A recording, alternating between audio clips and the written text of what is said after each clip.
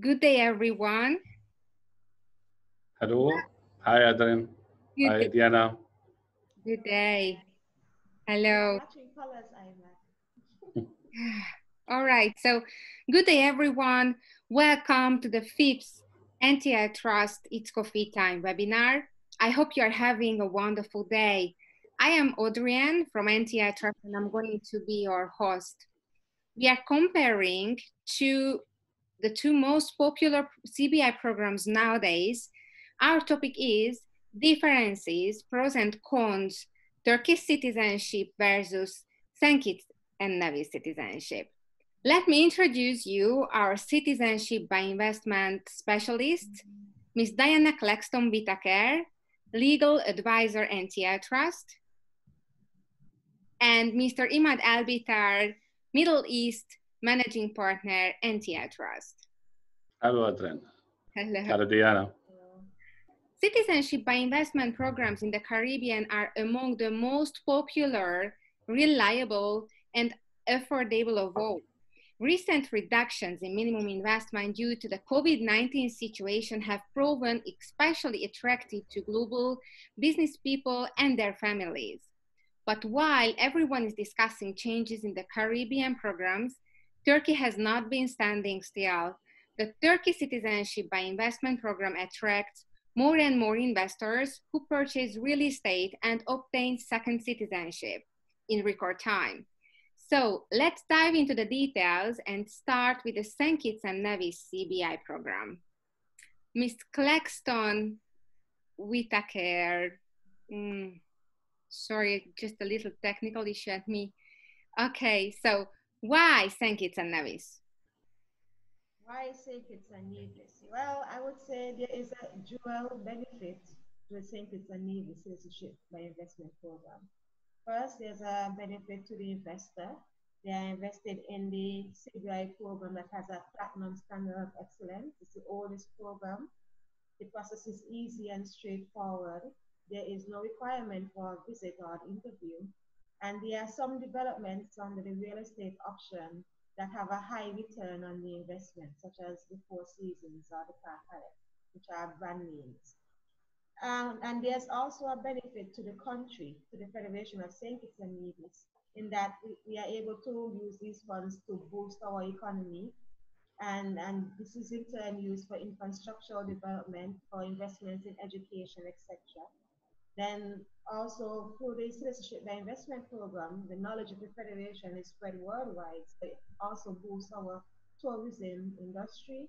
And through the real estate sector, there is development in construction. So as I said, there's a dual benefit to both the investor and the federation. Sounds perfect. And what are the investment options? So the investment options, uh, either the donation option, which is a sustainable growth fund, or the real estate option.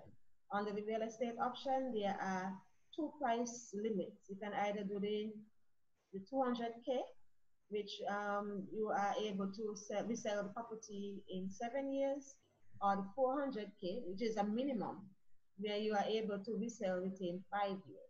The sustainable growth fund is just a lump sum payment that you make to the government in exchange for their passport. Okay. What are the rules regarding adding dependents?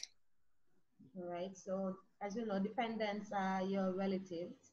In St. Kitts Nevis, you can add uh, your children, um, 18 years and under, and 18 and to 30 if they are in an educational institution or fully dependent on you.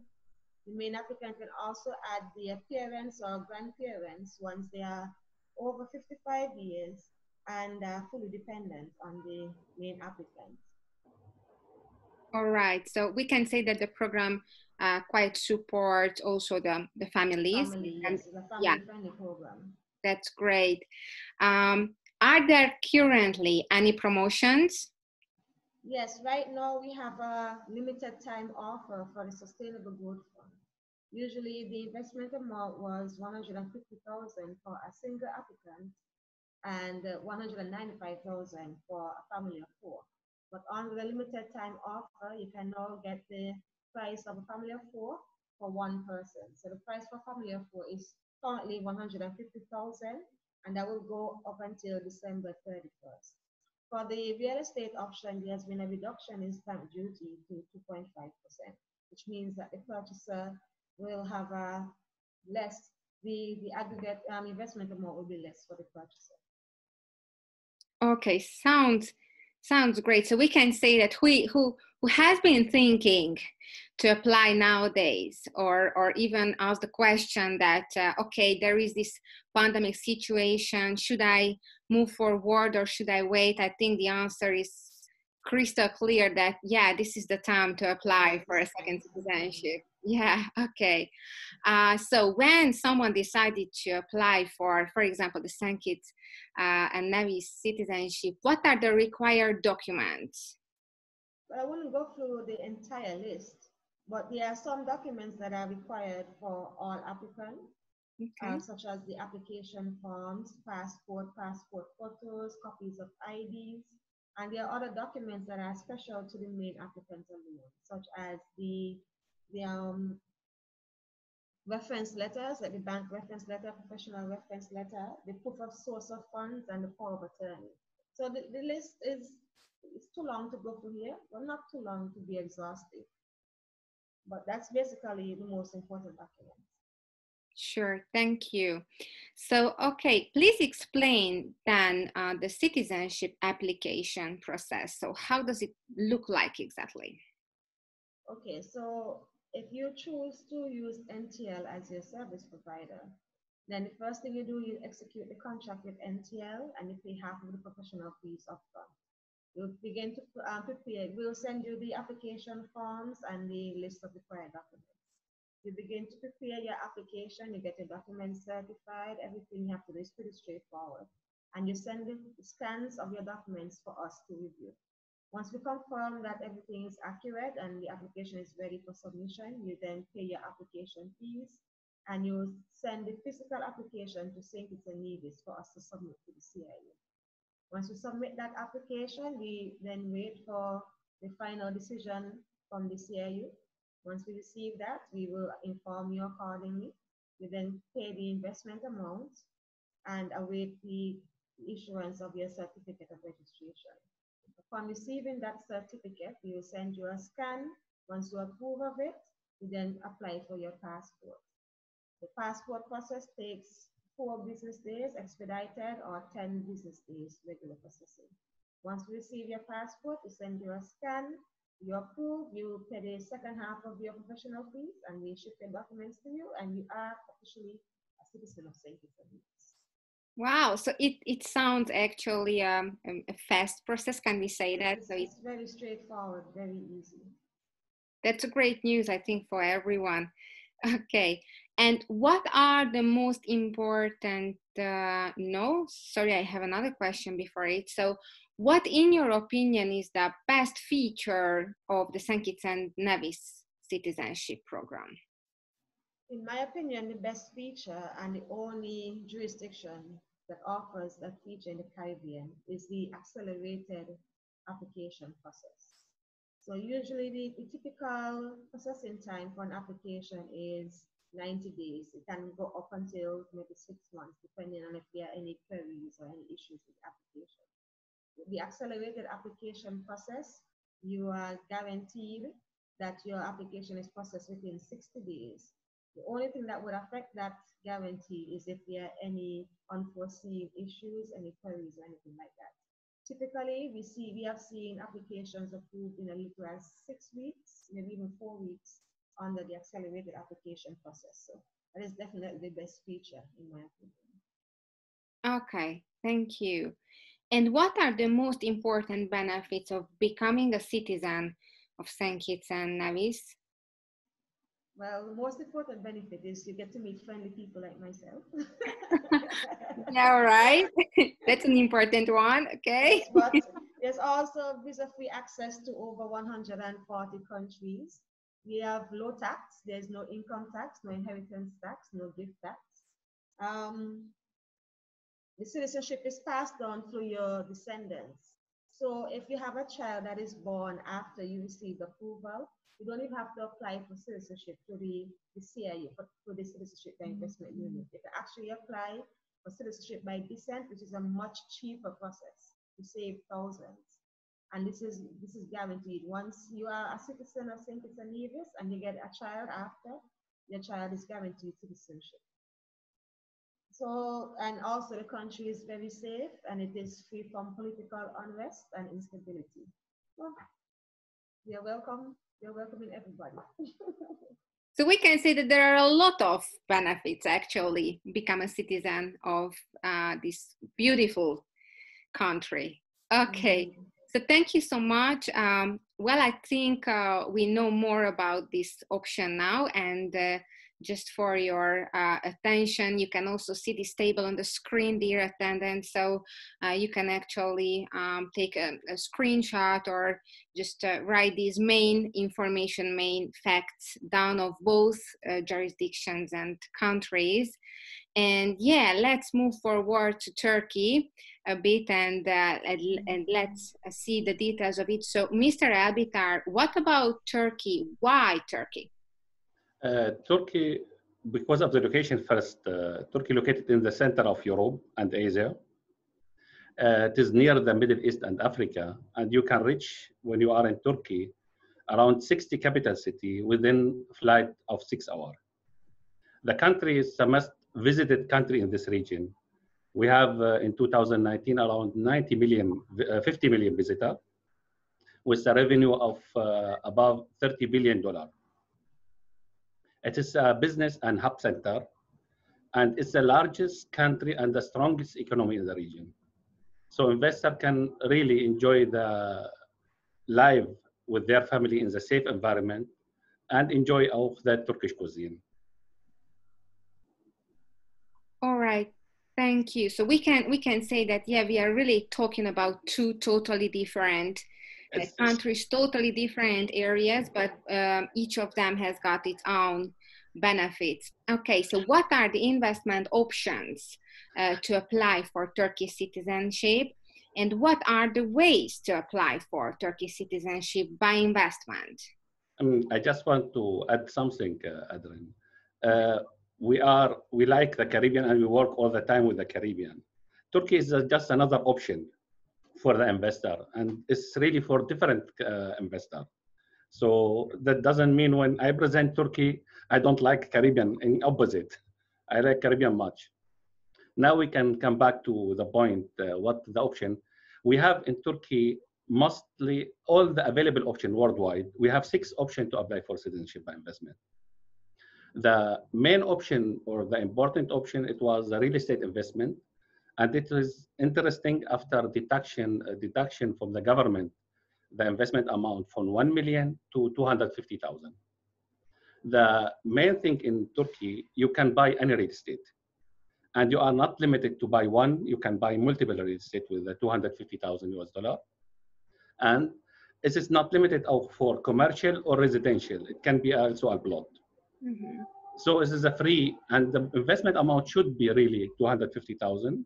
So there will be an evaluation company uh, approved by government who control this. And that give of the investor a security. What he buy, it worth the amount what he spent in the, for the citizenship by investment. Uh, the second option and the main option is uh, to put 500,000 fixed deposit in the bank for three years. And this money can be put in uh, dollar, euro, Turkish lira, or in gold and they are of return of investment or interest rate for this amount. The other four option, usually also 500,000 investment in real estate bond or government bond, or employing uh, 50 Turkish worker. But the first and the second option is the main use option by investor. All right, thank you. So we can say that there are really a lot of options. Uh, this is correct. How to, how to invest in uh, in Turkey and uh, and if you see the real estate option, it's, it's kind of flexible, right? That is correct. Yeah, really. Okay. So who can be added to the citizenship application? There are limitations, unfortunately, in the CBI in Turkey. That's only uh, main applicant and spouse can be wife or husband. That means any of them can be the main applicant, and children. Children are limited only to the age of 18. Usually, if we have above 18 any children, child, it will get a residency permit, but it will not get the citizenship. And after five years, he can apply for citizenship.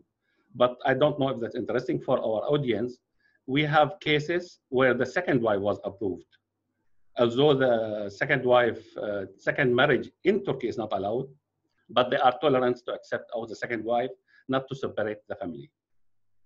Okay, so we can we can see here some flexibility too, but Correct. I can say that uh, if when we are talking about um, uh, the, the possibility of, of dependent uh, uh, in the CBI, we might can say that in St. Kitts and Nevis there is a, a bit um, more flexibility in general, right? That is, that is correct. Yeah. okay. They are more flexible in this regard. Yeah. What is special on the Turkish CBI? Uh, there are a lot or many really point what can be mentioned uh, in Turkey uh, as a special program. But the important thing what I want to mention is the E-2 visa. If you are citizen of uh, Turkey or CBI citizen, you can apply for E-2 visa for US, and this is a residency visa. What approval usually take only six weeks. That means the citizenship or the citizen from Turkey have the option to make this visa or to apply for this visa. And we have the second one is the Ankara Agreement. This Ankara Agreement between European Union and UK and Turkey. That means if any investor want to establish themselves in UK and they have a good visibility study, they will get also residency in uh, UK. What give the option to expand the business worldwide. Uh, in Turkey, we don't have uh, declaration for any asset worldwide, except if the investor are tax resident in Turkey. Okay, but And yeah, Yeah, but being a, citizen and being a tax resident, it's just kind of two different things here, right? that is correct. Okay. If you have to, if you are tax resident in Turkey, then definitely you have to apply for all the reg- regulation. In Turkey, definitely we have, as we mentioned, we have a lot of option to apply for citizenship. It's a fast track uh, citizenship by investment. Uh, the approval time is three months, and we get the last approval in three months and 12 days. And this was in the Corona time. So the government was fully functional. And although everything, it was almost online. Uh, we have in Turkey, uh, in compared to the Caribbean in general, less fee. That means uh, if we apply for a family with 11 children, we pay the same, 250,000, that's all, and small amount administration cost. They don't ask, the government don't have any much benefit from the citizenship by investment itself. They do it just for the economy. The developer have the benefit and the bank, where we, the bank, uh, where the money will be deposited in the bank. And usually in the Caribbean, we have a little higher cost. Uh, definitely, if you are part uh, of uh, this country and citizen of this country, you will enjoy the excellent health and education system for the family, and definitely safe environment with high quality of life, and definitely of the most uh, delicious food in the world. What I enjoy it too. All right. Thank you so much. When we are coming back uh, to the application itself, what are the basic documents in, in Turkey required for the application? You will spe- you will be surprised, Adrian. We need just the birth certificate, marriage certificate, or family book. We need the passport. That's all. Oh, wow. Okay. Yeah. We uh, and then definitely we do a residency. We can uh, we do the residency for the investor, but that's that's all what we need from the client. Birth certificate, marriage certificate, uh, and then the passport, and uh, all the documents should be uh, uh, translated to Turkish language and attested. Thank you. Uh, and how to apply for Turkish citizenship and what is the procedure? When we have all these documents translated, what is happening then?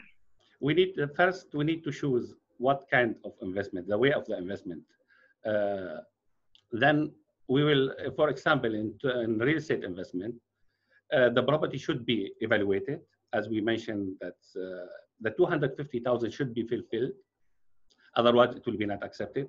So most of the people buy property for 260 or 270 because always in the evaluation there are some tolerance. Uh, after that, uh, the owner or the investor will commit himself that he will not sell this property for three years. That means this commitment will be registered in the land department. Then we apply to approve this property is uh, fulfill the requirement for citizenship by investment. So we get confirmation from the government or from the authority called certificate of uh, conformity. After that, we have to apply for residency, uh, investment residency permit for the main applicant only. When we do this step, we can apply and submit the document to the government.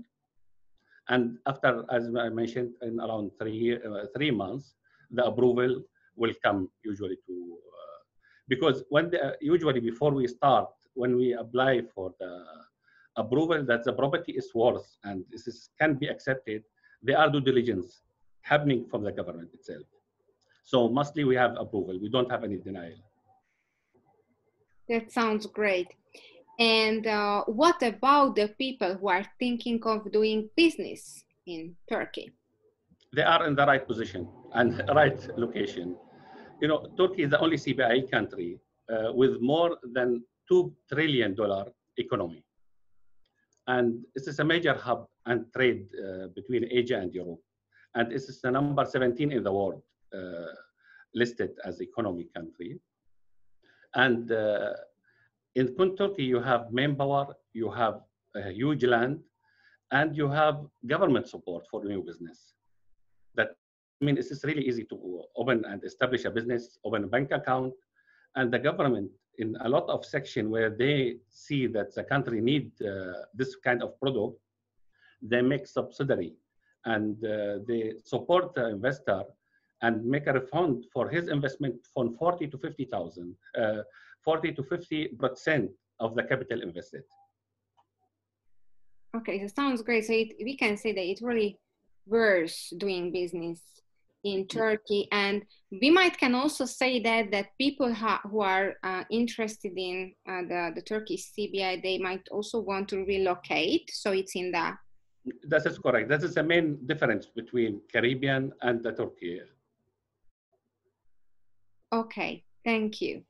Uh, and uh, we also got a question that is usually um, a very common question nowadays uh, in the people's mind. What about military service? And well, how to avoid it in Turkey as a fresh citizen or as a fresh citizen with a family with, with children? Uh, in Turkish citizenship, they consider the people who uh, enter this program as a Turkish uh, people. Yeah. So the military service is available for the children, uh, but it can be some exception for them. Till now, we don't know how the exception will be happening because till now we don't have the case that uh, people have to go to the military. But by the law, still this point is not clear. That means military service usually, I can say, should be applicable for the new uh, children because all the children are below the 18 when they enter uh, this program. Exactly. Okay, so we can say that something is going to happen around. That is correct. And expect that when the time comes, when the first cases are, are coming, um, everyone will know more about. What, what, I can say, what I can say, one, one of our partner in Turkey, he's since two, three years uh, citizen. Till now, nobody asked his children to go to the military. But the law said it should be, but nobody do it practically. We don't know how it will be received uh, uh, later. Okay, thank you so much. And I have got a few questions to both of you. Uh, uh, and the first one is uh, how is the pandemic situation in, in these countries? And now uh, I'm also I, I asking um, for St. Kitts and Nevis and, and for Turkey. How could you manage it? What's going on right now? Um, and, and what can we expect for this for this year if you if you see anything in the near future. Who will answer first? Lady first. Lady first. okay. Correct. Okay, well, um, for St. Kitts and Nevis, the pandemic was managed pretty well. Our borders were closed when things had really heightened. So we only had, in the beginning, 15 confirmed cases. Um, these were um, recovered, and then we were corona-free for about two months, and then citizens started coming in through private charters, and then we had two more confirmed mm. cases. One has already recovered, so at the moment we only have one confirmed case that is recovering, and that is in St. Kitts. In Nevis, we have been corona free for about maybe two or three months, and uh, nice. the, the plan is to put things, safety measures in place, and then look to reopen the borders by October. But I have seen on the news that the, they seem to have only allowed UK and Canada citizens to fly in when the borders reopen. I think they're gonna um, delay the opening to Americans for a bit because of the situation. Thank you. So we can we can say that that St. Kitts and Nevis is a safe haven right now in the world yeah. uh, in in terms of the pandemic situation. What about Turkey? Turkey usually have a different situation when we talk about 80 million people and 50 million people uh, visiting the country. It should be usually worse. But I can say now the real people who is affected is around 25,000 because we should look at uh, the people who is affected and the people who is, who is cured. So yeah. 25,000 is still manageable.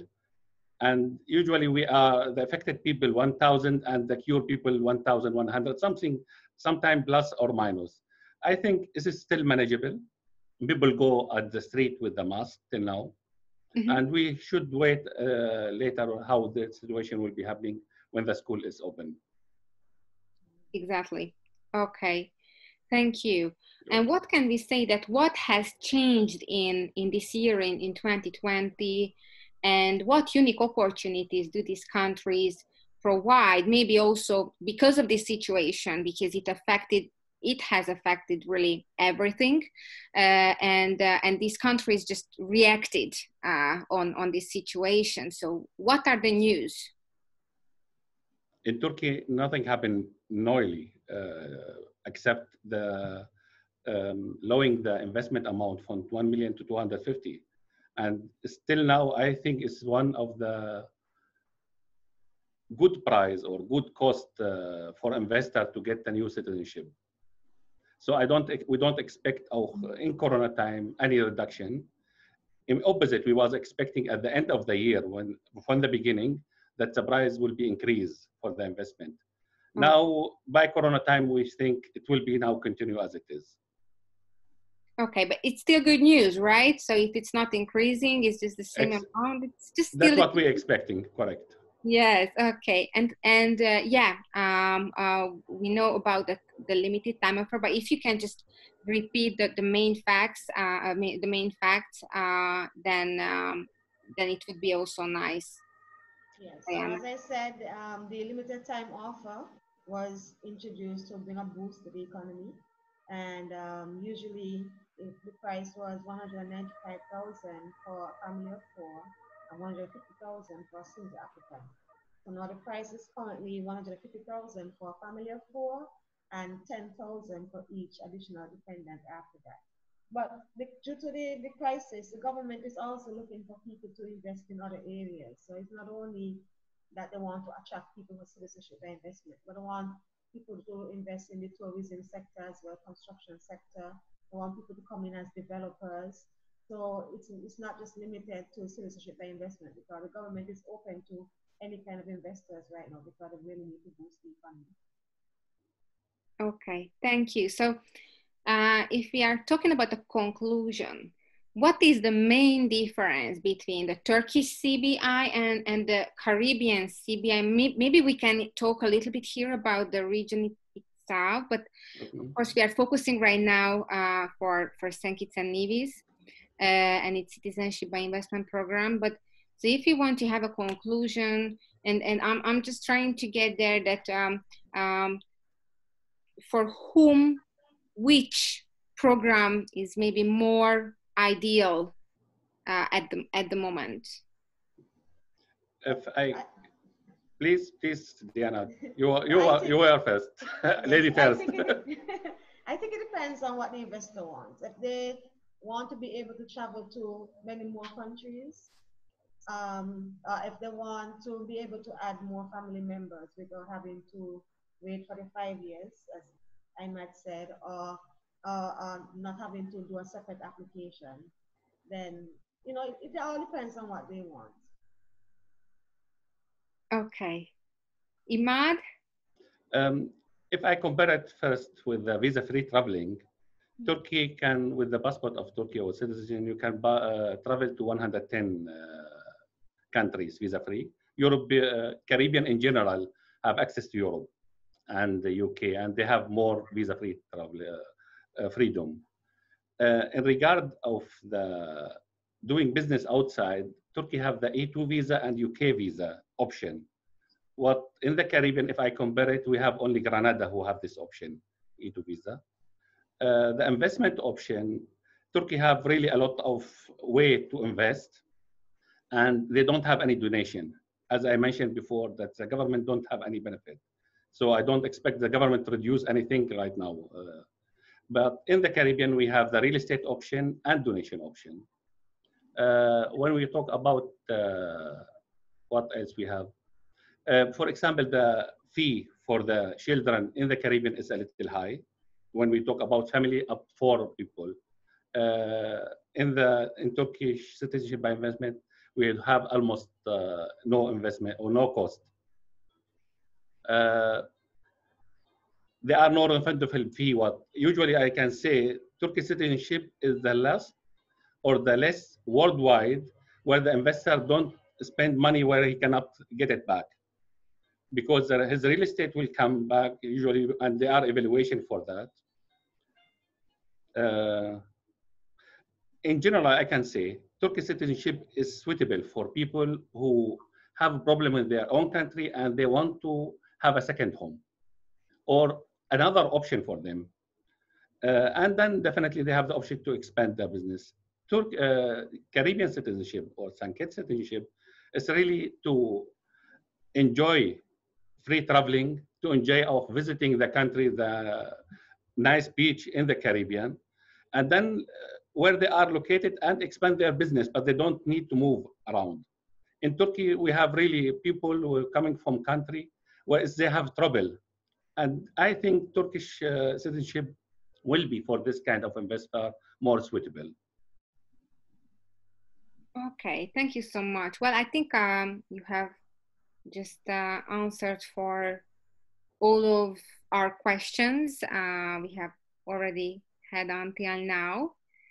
So, um, dear attendants, if there is any further questions, uh, please use your opportunity to ask live uh, Miss uh, Claxton Whittaker and, and Mr. Elbitar uh, of these um, wonderful uh, citizenship by investment options or, or for example just investment options if, if you would like to know more about it because they are here now to answer for your questions but as I see, maybe that's all we had. I don't see any further questions here.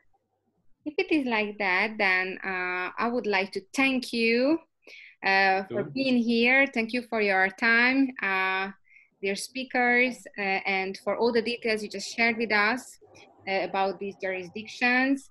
I am very sure that maybe our attendees uh, will have uh, some further questions. Uh, so then they can contact, you can contact us anytime uh, on our main um, on our website, for example, www.ntltrust.com, or you can write us an email to the info at ntltrust.com. And we are also on social media platforms like on Twitter, Instagram, uh, Facebook, and LinkedIn. Uh, and uh, thank you for your time today being here with us uh, on the fifth It's Coffee Time webinar. We will let you know when we have our next interesting topic uh, and our next webinar. And uh, have a wonderful afternoon or morning, depending on where you are in the world. And uh, thank you again. Thank you very much. Thank you, Adrien. Thank you, Diana. Bye bye. Bye bye.